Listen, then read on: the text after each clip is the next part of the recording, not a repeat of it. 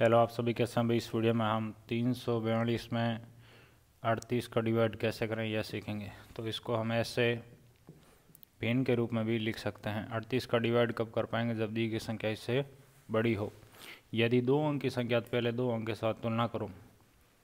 क्या यह अड़तीस से बड़ी है? नहीं है तो फिर अगला अंक शामिल कर लो। देखिए डिवाइड की शुरुआत कैसे करें?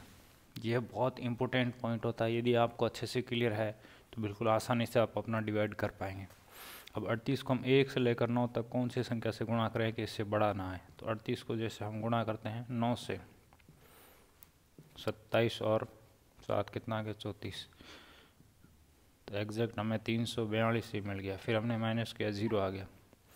आगे कोई भी अंक नहीं है। ज़ीरो आ गया मतलब डिवाइड कंप्लीट हो गया। ये आपका भागफल है।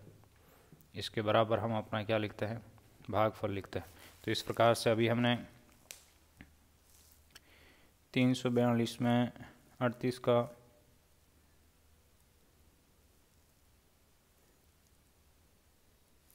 डिवाइड किया हमें नाइन मिल गया।